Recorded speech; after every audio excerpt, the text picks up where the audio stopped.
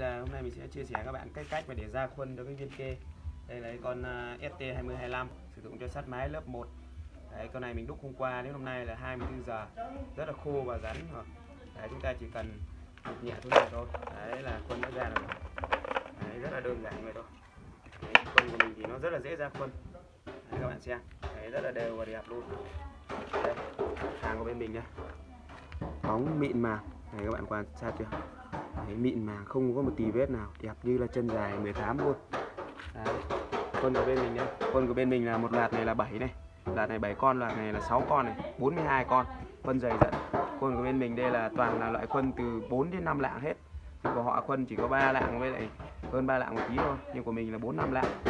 Đấy, con này là à, 4 lạng này con này là 5 lạng này. Con này con sử dụng cho sắt lớp 2 này con này sử dụng cho sắt lớp 1 này. Đấy. Rất là nhiều các loại phân này đấy. Anh chị em có nhu cầu về dòng phân nào thì liên hệ với bên mình để bên mình uh, tư vấn giới thiệu cho các bạn những dòng sản phẩm của bên mình. Đấy. Con kê rồi viên đúc rồi. Đây. Cái con uh, của bên mình đây. Cái con này là dùng cho sắt một lớp các bạn nhé đấy con này là dùng cho sắt hai lớp này. Đấy. rất là nhiều các dòng luôn. Các bạn có nhu cầu về quân viên đúc con kê thì có thể liên hệ để bên mình tư vấn. Rồi xin chào hẹn gặp lại các bạn video sau.